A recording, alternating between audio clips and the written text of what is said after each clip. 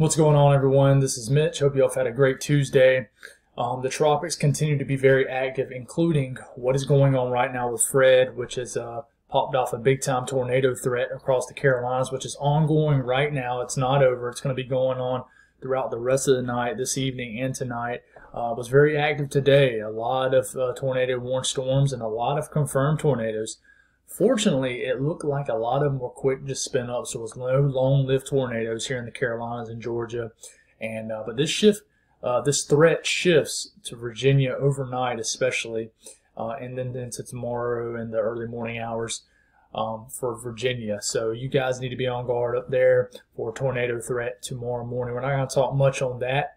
But just know it's going to be an active night, ongoing overnight. So if you live, especially in North Carolina into Virginia, keep that in mind. But, um, you know, you know, talking about the tropics, you have tropical storm Henri. I was calling it Henry before because that's how it looks like it would be said, but it's actually Henri. Um, so sorry about that in my earlier videos. And then you have Tropical Storm Grace, which is just getting off the western coast of Jamaica Land interaction with Jamaica didn't really mess with Grace at all. It's actually doing pretty well, and Henri is doing pretty well. And then you have a big old tropical wave coming off the coast of North Africa. We're not going to talk much about that, but I will mention here in the videos coming in the next couple days about uh, just some guidance, what it looks like that may or may not do. But if, before we get going here, if you guys have not subscribed, definitely hit the subscribe button. I make content daily. I'm also a storm chaser, so I try to get out there in it. Um, it's been a pretty crazy last, I don't know, 24, 36 hours. And uh, with ch- chasing Fred all the way in the panhandle of Florida, and then uh, got in a little bit of chasing this afternoon. Um, but it's been very active, but finally get a full night of sleep going on um, overnight. So let's really, let's just break this down. In this video, we're going to talk about Grace first, and we're going to talk about Henri, and we're going to talk about what kind of impacts could they have for really anybody in North America. So uh, this is what's going on with Fred. It's a tropical depression, but you notice you see these um, you see you see this action going on right here through the Carolina, South Carolina, North Carolina. That is the tail, of, if you will, of Fred, which is popping off a big time tornado threat. There's a little bit of a low level jet going on here, and uh, just a wind field here supportive of tornadoes. And it's been very like low top storms. Like I actually saw it today in Calhoun County near the Orangeburg St. Matthews area here in South Carolina. I witnessed it in person, and it's crazy. There's just so much motion going on with the with the clouds, but a lot of them aren't really reaching the ground, and the ones they are, they're kind of going down, touching, and then coming back up. So they're not really big time destructive tornadoes unless it just happens to come down on someone's house or building or something like that. But going forward here, this is Tropical Storm Grace. Um, Grace looks pretty good. It's getting off the western coast of Jamaica, and uh, it's dealing with a little bit of shear. But really, outside of that, it's looking fine. And what's going to go on here in the short term, meaning the next 24 to 36 hours, is is it going to have a chance to wrap its core around? If it does, then there's a chance for rapid intensification before it ultimately makes landfall in the Yucatan Peninsula and then makes a secondary landfall in central Mexico, somewhere in the coastal areas. Obviously, not literally in central Mexico, but um, the central coastal areas of Mexico. Um, very kind of a rare track, but um, this is what's going on. It actually looks like a pretty healthy tropical storm. And you look at the guidance here from the National Hurricane Center. Is right now it's a 60 mile per hour storm. Um, I hope you guys in Jamaica are faring well. It looks like the center of the storm's coming off the island, but I'm sure y'all are still experiencing some nasty weather. So I hope y'all are doing all right. But um, hurricane watches out for these islands just west of Jamaica, and you got hurricane warnings up for the entire eastern coast of the Yucatan Peninsula, just just about as it looks like um, overnight.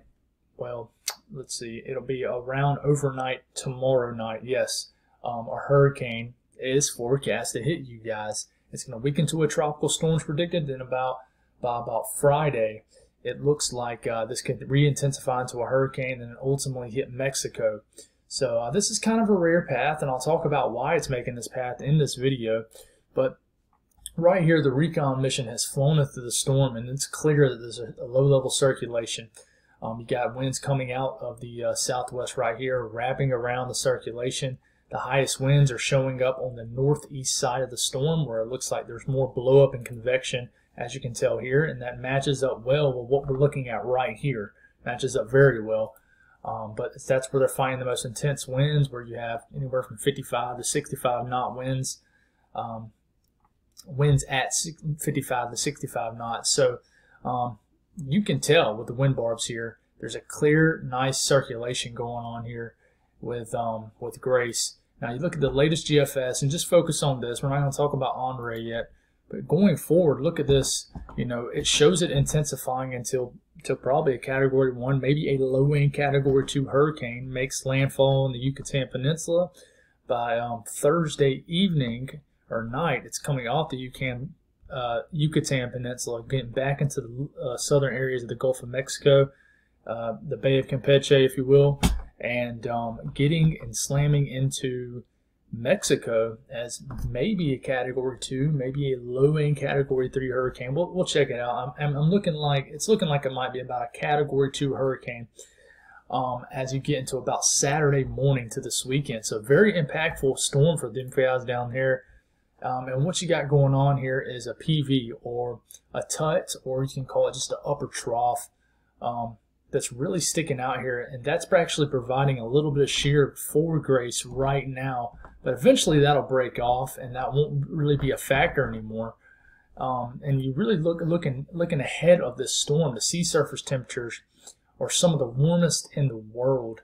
Um, I mentioned, you know, I was in the Panhandle of Florida where it says 30 degrees Celsius. And let me tell you, when I stuck my foot into the waters in the Panhandle floor near Mexico Beach, if you don't know where that is, that is just east of uh, Panama City. Um, the waters were incredibly warm. I mean, I know I've mentioned bathtub waters a lot in my videos in here in the last week. It literally felt like a bathtub. It was crazy. Now, that is just rocket fuel for these tropical cyclones, and that is going to be the case as this gets away from Jamaica and the water some of the warmest in the entire world here in the mid to upper 80s. So you ain't got to worry about sea surface temperatures. They're going to be there. Now, what's causing this to dig this, uh, dig this far south? Because a lot of tropical cyclones, when they get in this area, they like to get into the Gulf of Mexico and they like to cruise northwest. Not in this case. This dark red you see right here, that is a ridge of high pressure. And check it out. As Grace is getting down here, it acts like it almost wants to start to go a little bit north but then it gets bogged down by the ridge of high pressure. Now, the ridge of high pressure does weaken a little bit, but it's too late. Uh, Grace pretty much knows where it wants to go, and it's heading to Mexico.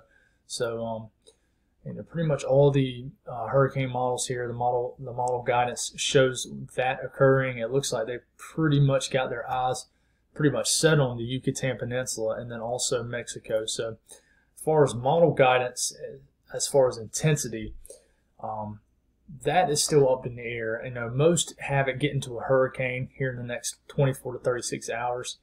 Um, how much more does it intensify once it gets into the deep southern areas of the Gulf of Mexico? That is a big question. But most have this becoming our next hurricane. Now, you're talking about Tropical Storm Henri. I'm going to let this load for a second. We'll take a look at this really quick here. Uh, Henri is forecast to will continue to be a tropical storm, but it also could become a hurricane too as early as late this week, as early as late as early. I can't talk, guys. I'm sorry. I'm going running off a lot of low sleep right now. Um, but it actually uh, is forecast to become a hurricane as early as around Thursday or Friday of this week, and uh, it's barely moving at five miles per hour. It's uh, just chugging along. It's almost moving uh, due west southwest and that is because it's flowing around a ridge of high pressure right now. Um, it's pretty crazy. This is a very interesting storm. Um, you know, Bermuda has tropical storm watches right now, but really aren't they aren't really getting a lot of weather here. Um, and this is it. This is tropical storm Henri. Um, has a nice flow. You have some outer bands uh, kind of fanning off this, so it's ventilating pretty well. But it's also dealing with a little bit of northerly shear as you look at the flowing patterns, which I'm about to share you, um, of what's pushing it in this direction. It's very interesting. Um, it is forecast to become a hurricane, like I said, late week, and it could stay a hurricane throughout the weekend. This is going to indirectly impact the eastern U.S. You know, it's, it's going to dig up some swells, um, and it actually has a chance. We're watching this. This could nick, nick areas of uh, the Northeast as far as maybe the Cape Cod, the most furthest eastern sticking out areas, and then eventually maybe affect areas of Canada. So we'll watch that. As far as the GFS, what does it have this thing doing? Um, what has it actually moving west over the next couple days. Uh, it's moving here. There's a ridge of high pressure right here that's bogging this thing down and actually might move a little bit south of west here, like west southwest, like it's kind of doing right now.